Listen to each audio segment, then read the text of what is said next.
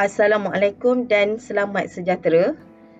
Saya Cikgu Nur Hayati Mitihaya, seorang guru sains di SK Bija yang merupakan sekolah luar bandar yang sentiasa mencari cara untuk memberikan yang terbaik kepada pelajar-pelajar saya.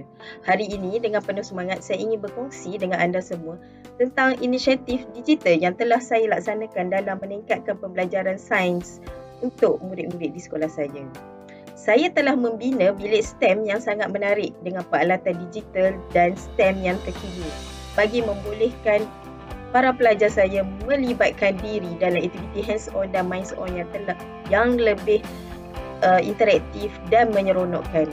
Selain itu, saya juga aktif menggunakan peralatan digital dalam kelas pembelajaran saya.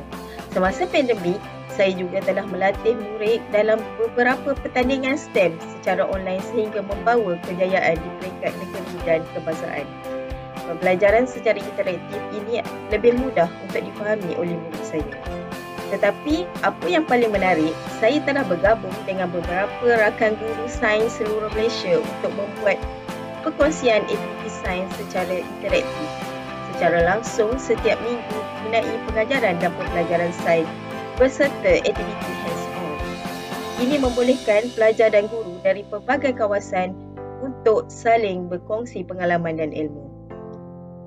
Akhir kata, saya ingin mengajak semua guru dan pelajar untuk terus berinovasi dan mencipta inisiatif digital yang baru dalam meningkatkan pembelajaran. Jangan takut mencuba dan terus berusaha untuk memberikan yang terbaik kepada anak-anak kita.